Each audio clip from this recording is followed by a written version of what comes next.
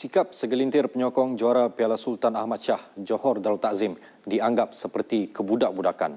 Itu ulasan ringkas Presiden Persatuan Bola Sepak Negeri Pahang PBNP Tengku Abdul Rahman Sultan Ahmad Shah susulan provokasi penyokong JDT yang terlibat mempamerkan kain rentang ataupun tifo manusia berwajah anjing pada perlawanan Piala Sumbangsih 2015 Sabtu lalu.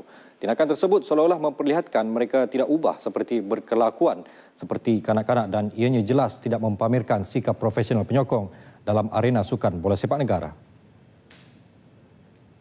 Saya kasihankan mereka kerana saya tidak faham cara mereka berfikir.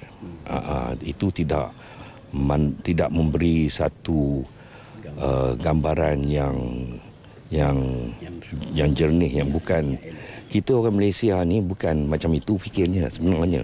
Kita kita hendak kita hendak uh, perkembangan yang sihat uh, dari semua sudut.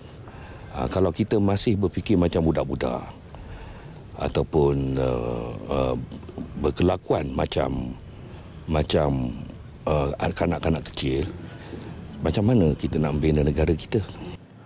Titah baginda, individu terbabit seharusnya melihat perlawanan bola sepak daripada sudut positif dan tahu membezakan perkara yang elok atau tidak elok serta sedar bahawa perbuatan menghina tidak dibenarkan agama.